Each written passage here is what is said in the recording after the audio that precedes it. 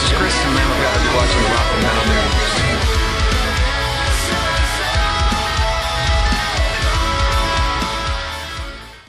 Hey guys, this is Ron from YouTube's Rock and Metal News with a Rock and Metal News update. It looks like Avenged Sevenfold's new album title may have leaked, and it is rumored to be called Voltaic Oceans, and appears to be set for a release date of December 9th, 2016. The band have teased the Deathbat logo all over the world recently, so something is coming, and an Instagram post made by Chris Jericho through metalitalia.com seems to have unveiled the news. It's been taken down now, but you can stay tuned. This is Ron from YouTube's Rock and Metal News. Thanks for tuning in.